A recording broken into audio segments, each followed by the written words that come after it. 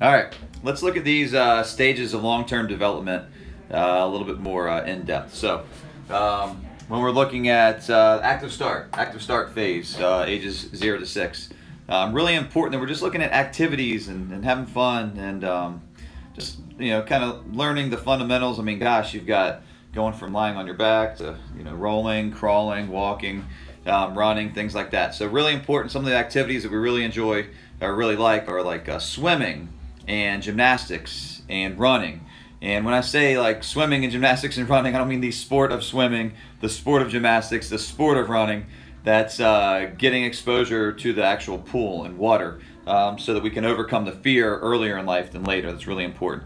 Um, same same thing with gymnastics. Not necessarily getting up on uh, the high bar or the rings or the balance beam and looking for some artistic um, kind of expression of uh, the sport of gymnastics. But we're really looking at is um, controlling body weight, controlling uh, you know squatting down, standing up, tumbling, things like that. And then for running, definitely do not have your kids go out for a mile run you know when they're five years old.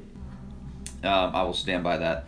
Um, have them run around the house, run outside, run on different terrain. Um, keep them barefoot. Try not to put them in shoes, not a not a, a high heel shoe. That's uh, kind of I guess a whole other topic. But um, it's really important that they're learning to manipulate their own body weight, basic fundamental skills. Then we move into the fundamentals, always keeping it fun from ages of, uh, generally speaking, about six to nine.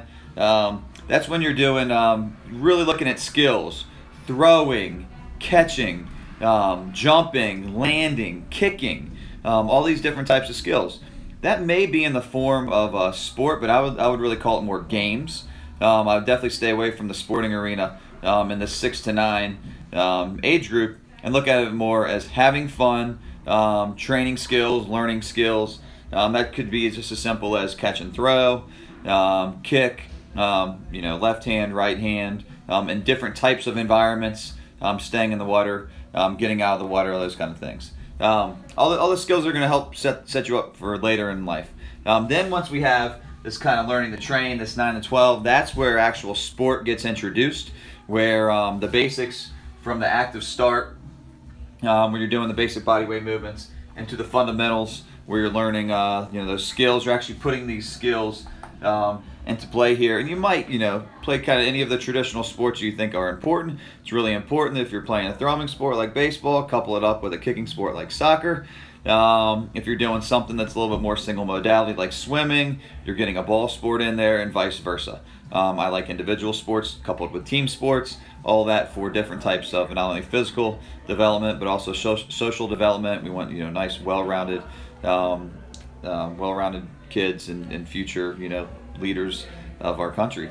Um, what's really important right here is you have the physical literacy base to either we can continue on into the, the training the train stage or maybe that's just part of um, an active life which is really important so from here we could continue on to this active life not everybody wants to be or needs to be an athlete. And uh, so it's really important that we're, we're setting everybody up for success here. This is what's really important. Before you get to the teen years, each one of these is super important.